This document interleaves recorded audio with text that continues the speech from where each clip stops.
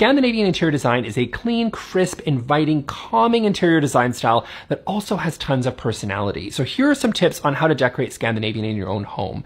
First of all, it is minimal. Scandinavian design emphasizes bright, light, and open spaces with enough room to move and breathe within them, so no clutter. It is a fairly neutral color palette. A typical Scandinavian design will feature light wood flooring to give a warm, cozy feel, and then frequent use of white and gray throughout the space with just touches of black. This helps warm the space and make it feel really bright and light during those long Scandinavian winters. Bring nature inside by incorporating natural elements such as light and bright wood, houseplants, and natural textiles such as wool, sheepskin, linen, jute, burlap, and add things that remind you of warmth and comfort such as candles, soft blankets, and slippers. If you have a fireplace, make this a focal point and gathering place.